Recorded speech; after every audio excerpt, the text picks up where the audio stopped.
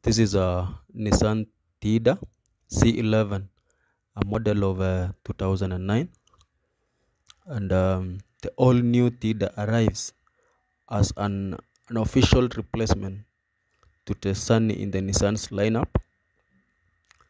This car has a good uh, headroom where even the tall passengers uh, will find the rear seat uh, leg room as comfortable as that of uh, much larger cars. Uh, the drive type of this car is a front wheel, so uh, it's a front wheel uh, drive type. And um, in this video, I am showing you the location of the chassis number, the VIN plate, and uh, engine number. So um, let me hook this on here so that I can show you uh, those locations. So um, the chassis number is located on the left hand side of the firewall.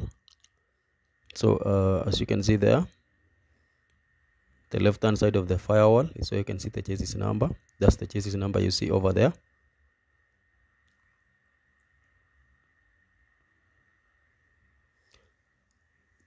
While uh, the VIN plate is located on the driver's side shock mounting. So um, so I'm showing you here. That's the VIN plate I'm showing you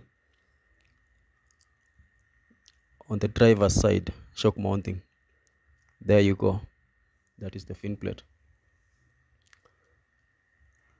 Now we come to the engine number.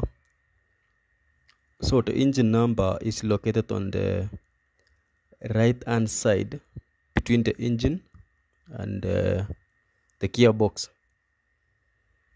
So between the engine and the gearbox is uh, where you can find it.